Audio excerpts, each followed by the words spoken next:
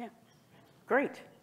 We're going to get started. Good morning. Happy Friday. I'm glad so many of you came out on the last day of RSA and the last presentation until the closing. Some quick, quick legal disclaimers, and I'll move into the topic. So I'm going to be talking about artificial intelligence and how we can make it more trustworthy.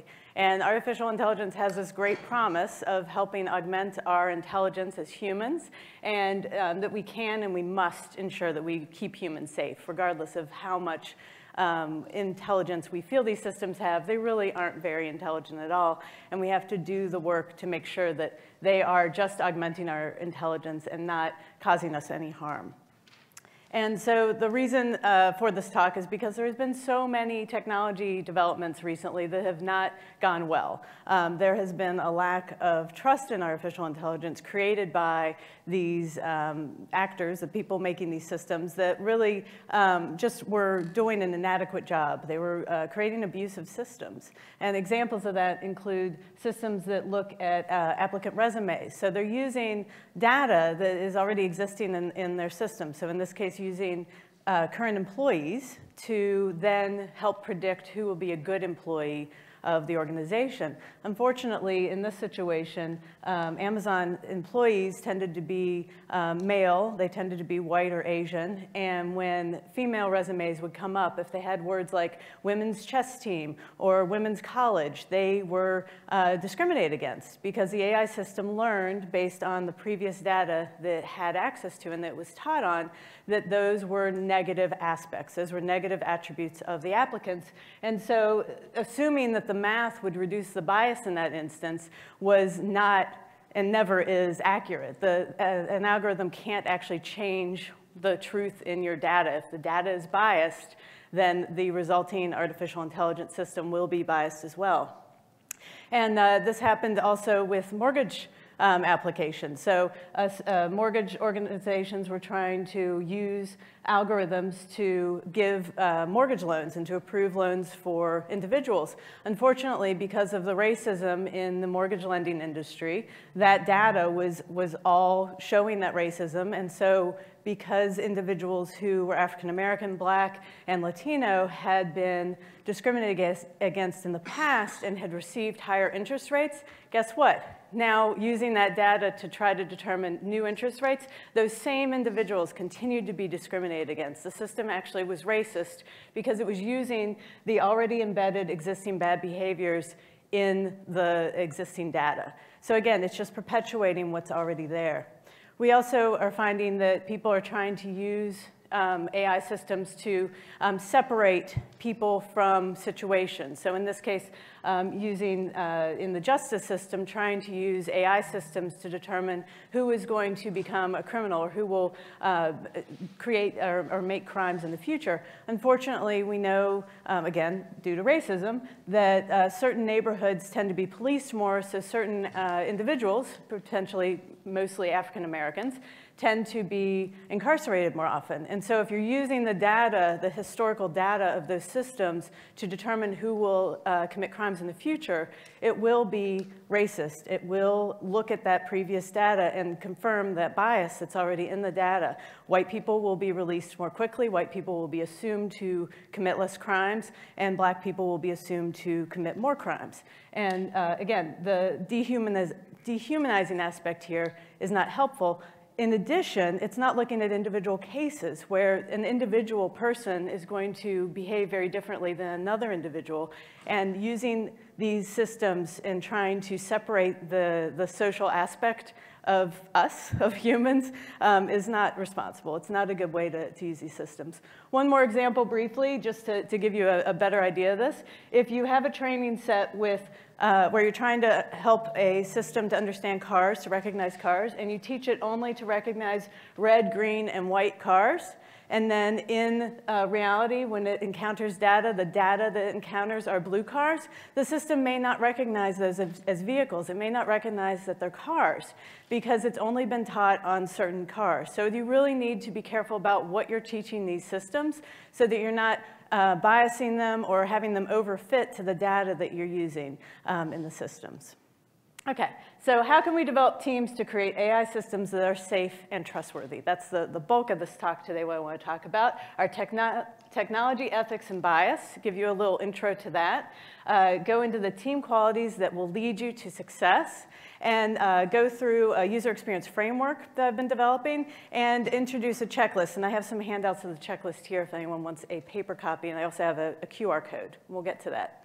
So technology ethics. So basic ethics, hopefully you are aware of ethics. Um, they are based on well-founded standards of right and wrong. So they are what a community decides it is going to do about certain situations. And uh, these are the standard uh, behaviors that we expect. It's just the, the agreed upon um, standards. And uh, you can think of these in the way of how they impact your work. So we're not going to talk about the greater world, rather we're going to talk about actual work. And this isn't the trolley problem. You're probably maybe familiar with the trolley problem. This is a situation where I'm on a trolley and I come to a fork and if I go to the left, I uh, will potentially kill two people. If I go to the right, I will potentially kill 10 people. Which way am I going to go? And this is an ethical philosophical question. This is not a question for uh, machine learning and for uh, doing AI work because this is work that has to be done much sooner. So it's not at the point of decision making where ethics are done. Ethics needs to be done long, long before you're ever actually using a functioning system. And that's why that's the wrong question for this particular uh, set of work. It's not hypotheticals in the moment, but rather the work that you're doing long before the system gets launched. So this is early purposeful work, and it's not just about the code. The algorithms are very important. There's been some uh, good uh, conversations here earlier this week at RSA about the algorithms themselves. I'm talking about the bigger picture um, as well, thinking about the conduct, the interactions, how is the system really going to behave with other humans? And uh, the benefits of using technical ethics, which I'll, I'll get into in a minute, are that they harmonize cultural variation. So when you bring together a diverse team, people will have different sets of ethics that they're bringing from their own worldview, from their own experiences. And by having a set of technical ethics, everyone can align on the same uh, set, and so you have an agreement upon how you're going to uh, expect the system to behave. It also balances the pace of change of technology and the competitiveness aspect, and enables people to feel empowered to actually question the work and think about the work and uh, do purposeful and meaningful work. So there are lots of great sets of ethics out there. Um, they're all a little different, and all of them encourage you to think about what you value, what lines won't your AI cross, and how are you going to track your progress. So there are some that come from nonprofit organizations and professional organizations. There are very large um, industry organizations that have created their set, own sets of ethics. Um, uh, the one I usually recommend is the Montreal Declaration of Responsible AI, which uh, is one I'll talk about a little bit more in a minute. And then you might notice the US Department of Defense there. They uh, just uh, approved their set of AI ethics. They have had a long history of having um, ethics um, within defense, but now there is a, a, set of AI ethics as well, AI principles. And you may wonder, can, can they really do this? But yes, actually. Um, you can have ethics in AI, even in defense. This is something that everyone can be doing, and they're doing a great job of really thinking through these.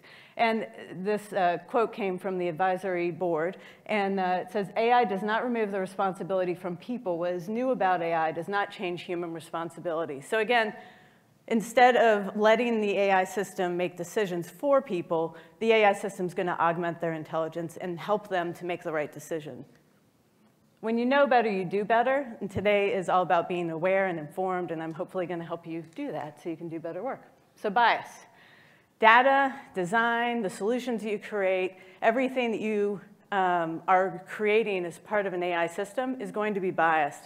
And that's because we all come with biases. We all come from different experiences, different worldviews, based on our social class, our resource availability, the education that we have. If we went to a different program in school, we're going to have very different ideas about how things are done. Uh, our race, our gender, our sexuality all affects our worldview, and our culture, theology, and tradition as well, and many, many other aspects that are individual to each of you. We all come with our own worldview, and when we bring that to work, that's going to affect our work naturally. But bias isn't bad. Um, bias is just what we have used for thousands of years to survive. Um, bias is actually just a mental shortcut. It's a way that we um, can save some time in thinking through a process. Is the line bad? Probably run, right? It, it just helps us to get through the day. Um, but it's also not necessarily in uh, sync with our actual beliefs, with our, with our conscious beliefs. Sometimes our biases are uh, to be racist or to be um, anti-Semitic or, or whatever it is. And we can change that. We can think about that, realize and recognize our bias, and then decide to change how we're interpreting. And that's the good thing about bias. We can manage it, we can change our beliefs, and move towards being less biased. So we start by building awareness and knowing ourselves, and then we work together to build better systems and think about how it affects our work. So these team qualities, what is a diverse team? You may be wondering that. And diversity has a lot of meanings. And what I mean by diversity is the whole, the whole thing, the whole shebang. Um, gender, race, culture, education, specifically education. Um, here in California and uh, certainly in Pittsburgh where I'm from, um, there are uh, preferences in hiring with certain colleges, certain universities. And that can be dangerous. You can end up with everyone having the same kind of group think, everyone having the same approach, everyone taking the same class from the same professor is dangerous because then you're missing out on other ways of thinking. You're missing out on other um, aspects. And, uh, and so that is even part of it the thinking process, disability status, there are many, many, many ways you can think about diversity. And it also includes the skill set and problem framing approach. Depending on your project, you may or may not work with data scientists, machine learning experts, uh, programmers, system architects, product managers. All those individuals come with different skills and different mindsets. And this isn't about lowering the bar, but rather lengthening it. This is really about finding people with different experiences and bringing them together to build the best system possible. Curiosity experts uh, are what I call people like myself. I'm a user experience researcher, um, people who do um, psychology work, uh, people who are thinking about uh, systems and processes from a user's perspective. Um, these are really important people. They, their job is to understand the situation, the abilities of the people who use the system, who use the system, and how the system will actually be used. And they activate curi curiosity in other people. We really want teams working on these systems who are thinking outside the box, who are not just trying to, uh, to get the job done, but rather really thinking thoughtfully about it. Ideally, your team will include social scientists and ethicists and other individuals as well. Um, those, depending on the industry, may be necessary to really make sure you're doing the right job. The important thing to keep in mind for uh, diverse teams is that they are going to be more objective. They're going to focus on more facts. And part of that is the effect that occurs when you find yourself the minority in a group. When you find yourself the minority, you're much more likely to think a little bit more skeptically and to uh, be more innovative. You're going to process facts more carefully. And that's a good thing. That's what we want in an AI team. In a team creating these types of systems, we want them to be aware of their own potential biases and aware of the differences in the group and use those to the benefit. And Harvard Business Review has published a number of stories um, on this particular topic. They've also found that diverse teams tend to be more um, they tend to make more money for, for um, the organization as well because they're more successful in general. So it's a great, many great reasons to do that. And great minds think different. This, this is, we don't want to do the same old thing we've been doing for the past 30, 40 years. It's not working. We need to do things differently. We need to bring different types of people together. So in order for a diverse team to actually work, though, you have to have inclusive leadership. So representative leadership that really um, is going to help with retention. So all too often, um, particularly in uh, Silicon Valley, we see organizations hire people and they only stay about a year. They stay until their shares mature, whatever their, their goal is, and then they leave because they don't see a path forward. They don't see leadership that's going to support them. They don't see a way to stay in the organization. And so by making sure that we have that leadership in place, we are much more likely to keep those individuals and keep that team together and keep people working. Um, those individual differences also need to be acknowledged and accepted so that people feel they can bring their whole selves to work, that they can really be part of the team, that they feel that they belong. This doesn't mean everybody has to be best friends. That doesn't happen um, always. Sometimes it does. Um, but that they feel that they're in a welcoming community, that they feel that they're part of this, um, this team that's moving forward. So I mentioned those uh, technology ethics, and uh, this is that Montreal Declaration for Responsible AI. They have a wonderful list of 10 very broad items that may or may not apply to your particular situation, but that's why I like this. It's pretty flexible. You can use this system, this uh, set of technology ethics for almost anything that you're building, which is great. Not perfect, none of these are, um, but it is pretty well worded. It's a pretty good set um, of ethics. And by coalescing on the shared set, again, you're, you're getting rid of the, the, the um, differences, not that you don't want to have those differences, you want to have those differences, but you also want everybody to align on the same set of ethics so that you can move forward together. So diverse, inclusive leaders, diverse, multidisciplinary teams, lots of different people thinking different ways, and that shared set of tech ethics. That's how we move forward. I'm going to talk a little bit about this, uh, the UX framework, and how you get from, okay, we've got all this, right? We've got our tech ethics. What do we actually do about it? How do we implement this work in a way that's actually going to make software, that's going to make um, artificial intelligence work? Um, so the UX framework helps you to really start those conversations. It's all about people in the end. Um, the, having these conversations is going to help to make sure that, that you really are building the system you intend to build. So what do you value? Who could be hurt? Uh, what lines won't you cross? So what is your AI system going to do and what won't it do? Um, and how are you shifting power? Are you shifting power um, in the relationships between individuals? Are you shifting power between organizations? what is going on when the system is used and, and, thinking about the bigger implications there. And then how are you going to track your progress? How will you know that you really are building a trustable AI system? This is uncomfortable work, and it's important to, to get to that point where you are feeling uncomfortable because that means you're actually doing the right thing. If you're having difficult decisions, this is a good thing. This is what you want to be doing. This progresses the work. It's the right thing. With the framework, there are four main areas. So accountable to humans, cognizant of speculative risks and benefits, it's a mouthful, respectful and secure, honest and usable. And I'll go through each of these um, one by one. So accountable to humans. What I mean by this is that we're ensuring that humans have ultimate control. We're ensuring that we assign responsibility. An individual, an organization is responsible for the system. And that's so that they can monitor and control the system and risk, and also so that there is, is that, that ownership. It's very important that there really is um, someone who feels that they're in control and, and owns the system, and also that they are taking that responsibility on.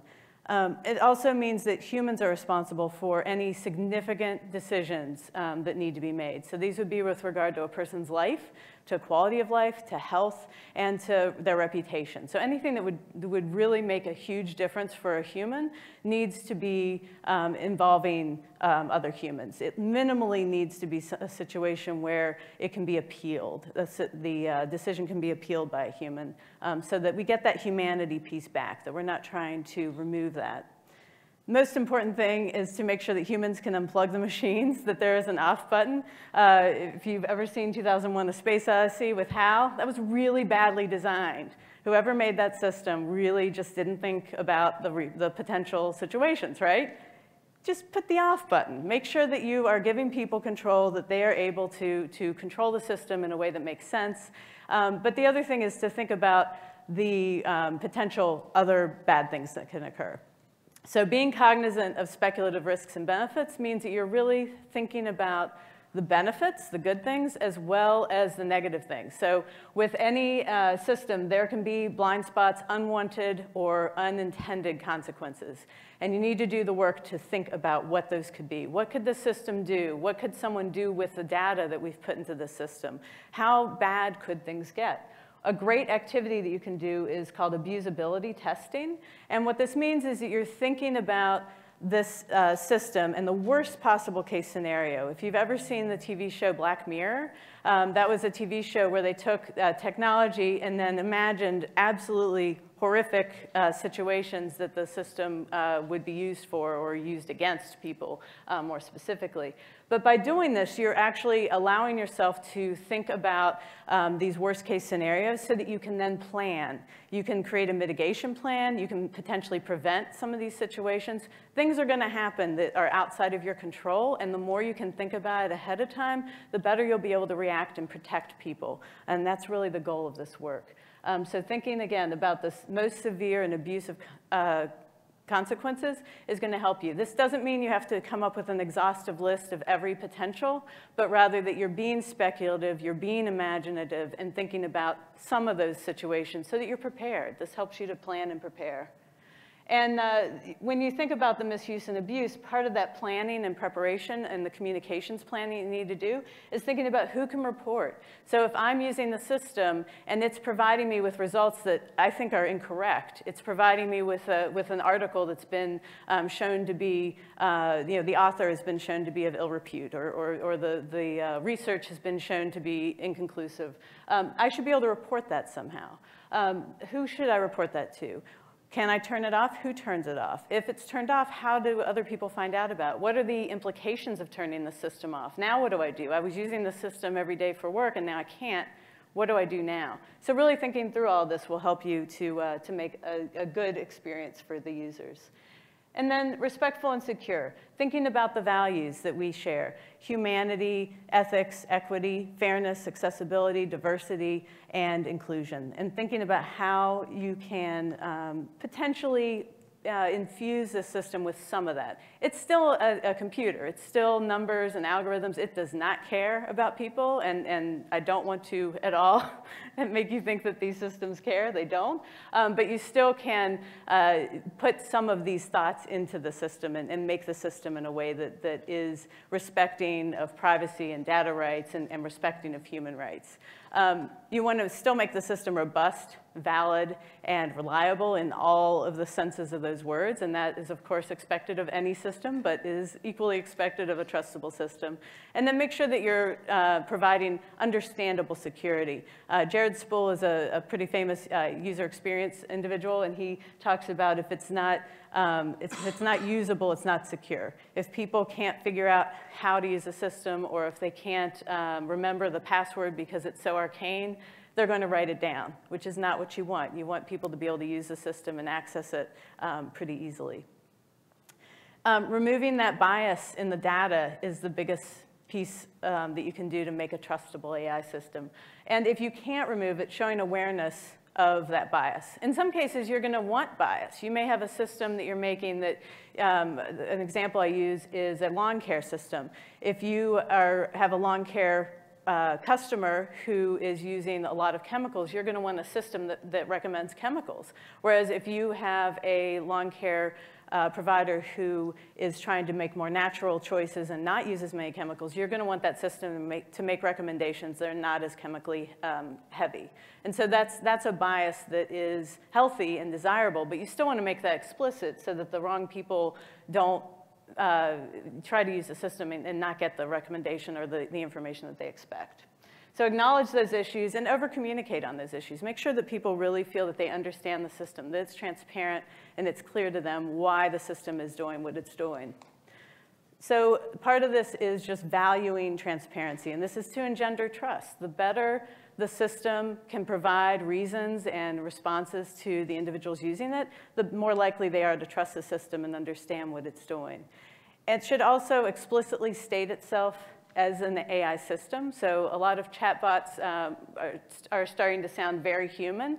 And it's one thing if it's in your home and you know it's there and you put it there. It's another thing if you're interacting in another way. And so you want to think about um, when is it okay for it to sound human and when is it not? When is it going to actually create distrust um, or anger or fear?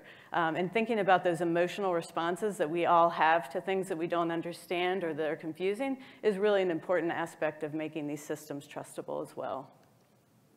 So those are the four aspects, again, accountable to humans, cognizant of speculative risk and benefits, respectful and secure, honest and usable. And thinking about those four areas will help you to, to create an ethical AI.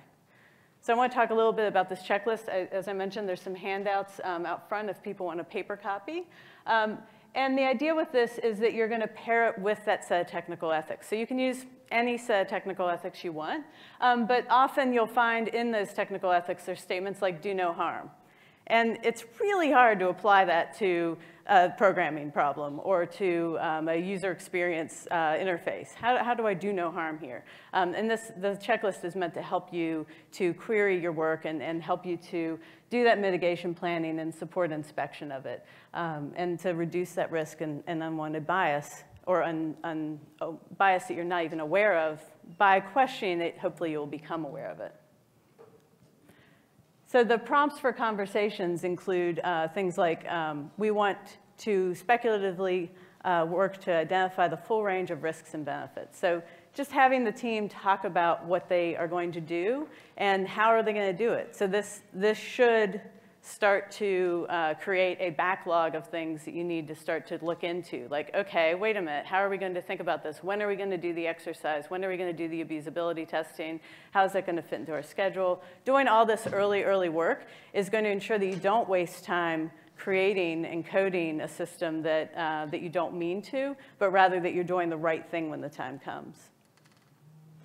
An idea that comes from Dr. Ayanna Howard is to reward team members for finding ethics bugs. So she um, talks about, uh, in this, uh, this podcast with Lex Fridman, the idea of making it a rewarding experience, helping the individuals on your teams, hopefully these are relatively small teams, but, but the, the members of the team, to point out when they find a, an ethics problem, to really talk about and to, to see that as a positive experience, to see that as something that is really what you want the team doing. And by celebrating those, um, those issues, by celebrating the finding of those issues, you're um, helping to, to raise the bar and to uh, improve the system or the team's um, interest in finding these things. So I encourage you to evangelize for human values and make ethical, transparent, and fair artificial intelligence systems, machine learning systems. And uh, we aren't perfect, uh, so don't expect your AI to be perfect. It will definitely have some flaws. Um, but if you have diverse teams in an inclusive environment, if they feel, if people on the team feel that they are part of a team that they want to be on, that they're part of a community, they're more likely to um, really do the work to, to make it a trustworthy system. If you're adopting tech ethics, again, that's going to bring everybody together. It's going to have them align their ethics on one particular focus. And if you're encouraging those deep conversations using a checklist, and, and there are other checklists out there as well, I encourage you to, to find one that works for you. That's going to help the team to really think through the implications of the system Activate curiosity in your teams. Help them to be speculative, to be curious, to be um, in, in imaginative in the ways that they're approaching these problems and in the problems that they're potentially creating. And by encouraging this, you're going to mitigate and prevent a lot of problems before they start. Um, and then make those systems trustworthy. Here are a couple of uh, point, points that you can think about for the future.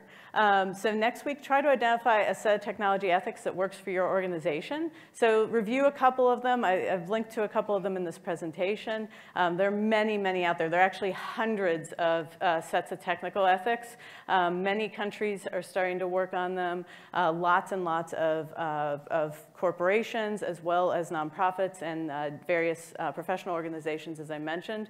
Um, and then introduce those tech ethics and a checklist to one team. And this is meant to be an experiment. So you have a team working on a particular problem, have them try to implement this in their work, ideally at a very early stage, so starting a new project or starting a new set of features and um, get them working on this and see how it goes. So then in three months, you can look at formally adopting tech ethics based on what you've learned. So you may find that that first set that you've adopted really didn't work out. It was too vague, or it was, um, it was just not intended for the workspace that you're in, um, or you wanted to add to it. You have new items you want to add. So hopefully in three months, you'll have learned enough from those other experiences, those learnings, that you can incorporate them into a solid set of ethics. And then run an abusability uh, test, so a workshop. So actually make sure you get teams together and a, a diverse set of people for this workshop and, uh, and get them talking and think through what are the ways that the system could be abused? What are the problems that we're creating potentially with the system? Um, and then expand these to the checklist to more teams so that more people are using the ethics, more people are using the checklist, and they're starting to, to really be creative in their critiques of the work. And then in six months, measure your progress. So are you seeing more proactiveness?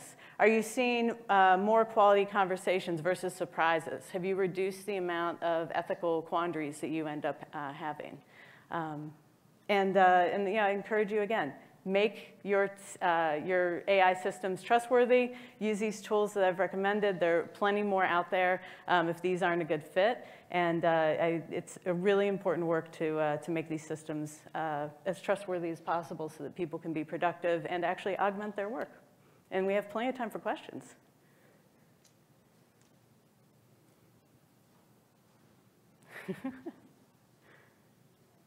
Any questions? Yeah. So you mentioned that it's difficult to translate these ethics because I've read some of those ethics out there into what a developer or a programmer can look into.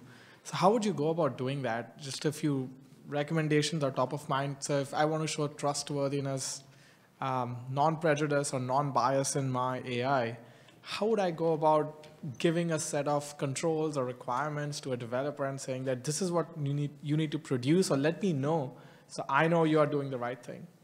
Okay, so uh, if I understand the, the question correctly, you're wondering how to communicate to the developers about the, the ethics? Yeah, so part of it is just getting them in the room when you're, um, when you're talking about them and, and having those conversations. So the whole team should really be involved in the ethics and everyone thinking about from their perspective. So developer is going to try to think through how can I make this into code? How, how can I uh, fit this into the algorithms I'm doing? And part of that is just those conversations and getting the, um, the technical ethics um, to become part of their work and, uh, and having them think uh, more closely about the work that they're doing. It's not easy. I'm not suggesting it is, um, but, but it is just part of, the, part of the new work that we have to do is being um, more uh, humane in the work by, by thinking through ethics. It's a, it's a big lift, especially for people who had a very technical um, education and have really only been technical people in the past. It's not going to be easy. Um, but with, with these types of systems, we really need people who understand the implications and, and who are willing to do that extra work um, to make a good system. I don't know if that really answered your question, but um, yeah. Any other questions? It's a quiet group. It's Friday. It's been a long week. Great. Well, there, there's some handouts here if anyone would like them. Um, and uh, hopefully you will not miss, uh, my colleague Lorrie Cranor is going to be downstairs opening up the, uh, the last uh, closing act with um, the magicians, can't think of their names. Penn and Teller. Penn and Teller. So that should be a really good show. Great. And I'm happy to have conversations afterwards um, if you'd like. Thank you very much.